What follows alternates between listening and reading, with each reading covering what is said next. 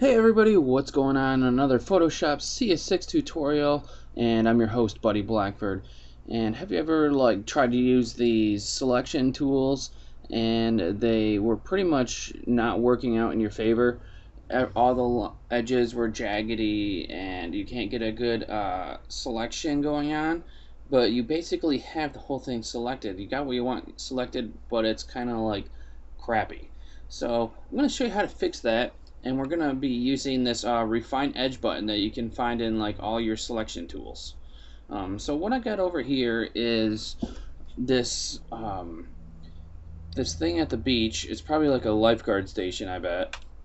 But I have uh, made a selection on it and I used the um, quick selection tool along with the magnetic lasso tool to make a selection. And if you look if I zoom in to around here, you can see that it's kind of like bumpy and up here it's not that great. It's like jaggedy and stuff like that and wavy. And uh, that's not what I want. I want it to be nice and smooth and clean. So let's go up here to the Refine Edge button and click.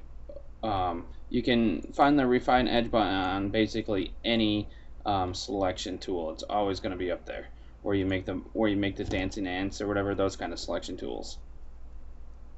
So the dancing ants are these lines. That's what they're called. I don't know why they call them that. It's kind of funny though. Refine edge. So then we get to this uh, screen.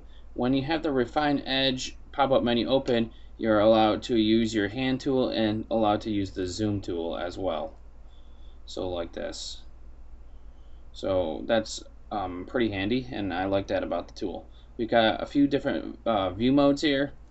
We've got um, what we originally had, which was the marching ants. I said dancing ants, didn't I? Huh, where did I come up with that? Alright. We've got overlay, which just lays, overlays it over a red background.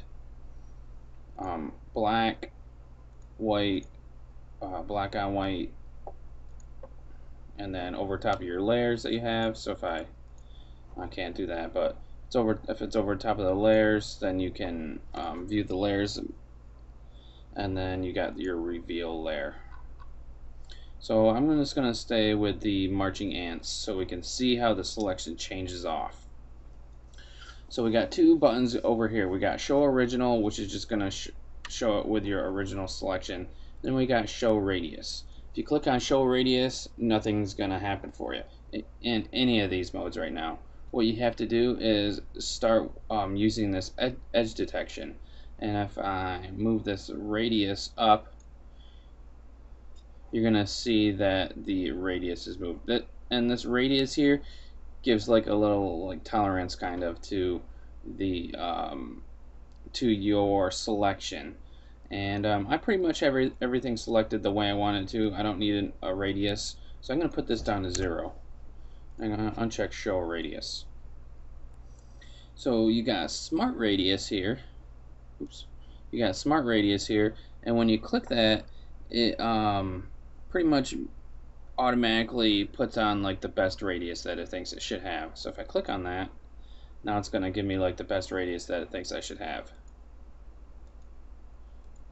Not much is changing when I click on it, so I'm not too worried about it. If I go to show radius, um, it pretty much thinks I don't really need one, so we should be good. Now this is where we can start adjusting things. Right here in this adjust edge section. We've got a smooth button right here and um, that basically smooths out the edges. So let's uh, increase that. So here's what you want to keep an eye on. Keep an eye on this area right here all the way up to that like little roof. And on top of the roof you can see how the top of the roof is jaggedy. So keep an eye on that. And I'm going to increase my smooth Let's increase it to 50%, which might be a little too much.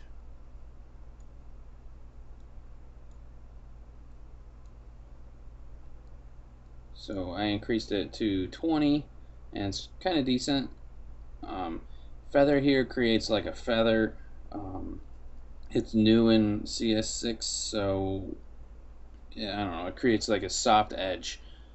So if I mess with that, it's gonna push out my um, selection and make like a feathered edge, which I don't want on this.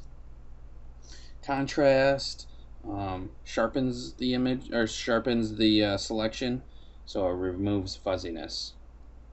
So if I put that up a decent amount,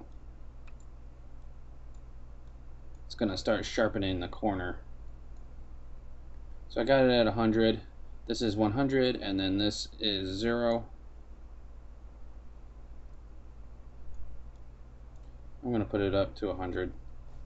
We got our shift edge, which moves the edge, uh, moves the selection outwards or inwards.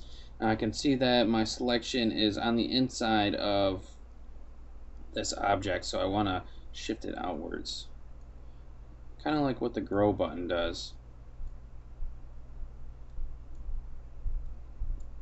So 100% looks like it's it's doing good. It's going to capture everything, and uh, it looks like it's going to get some of the outside. But that's okay when we get some of the outside because of this next section down here called output. And um, this checkbox here called decontaminate colors helps take away the background bleed off of um, your object. So if I click on that,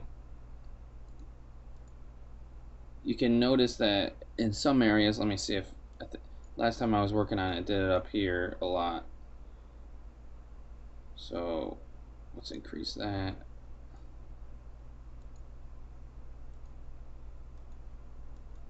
trying to see if it does it anywhere. Let's turn this up. Well, there must not be too much bleed on this anymore. It, it changes the color a little bit. I don't know if you guys can see it. Um, where did I just see the color get, colors get changed? If I bring this down to zero. Well, they're not getting changed too much. Well, um, usually this takes the background color off, but we aren't getting too much background color on here. Maybe I have my shift up too high. Let's check that. No, that wasn't the problem. I'm not getting too much background color anyway, so I'm not too worried about that. Um, what it does is pretty much um, removes the background color around the edge by the percentage amount you have down here in the slider. Then down in the output too, we got a, a few different uh, selections here. Um, new layer will just create a, a, new layer with your selected. Um, layer mask will um, create a layer mask for you. We haven't gone over those yet. Selection we'll just keep your selection. And then um, you got some other things here like new document and then some new layers with masks and everything like that then the option to remember your settings if you ever needed to do that again. So I'm just going to go to new layer, I'm going to hit OK, and now what we have here is this cutout. Let me hold Z and back off, and now we've got this thing cut out and it's fairly uh, decent. Oops, I don't want that. Fairly decent looking. So uh, that's how you use the refine edge. So um, use that for your selection tool make things make make things a lot nicer. Oh man, just started pouring cats and dogs outside. It was just it was just like super super hot and super muggy out, and all of a sudden it just started raining really hard. So hopefully it doesn't really thunderstorm too much, and hopefully because sometimes when it lightnings my uh, computer like just turns off. But I do have it on a power strip, so I'm not too worried about it. So um, thanks for watching this one. Give me a thumbs up if uh, you liked the video. Give me uh, a subscribe click if you guys want to see more. So see you guys later. Have a good one.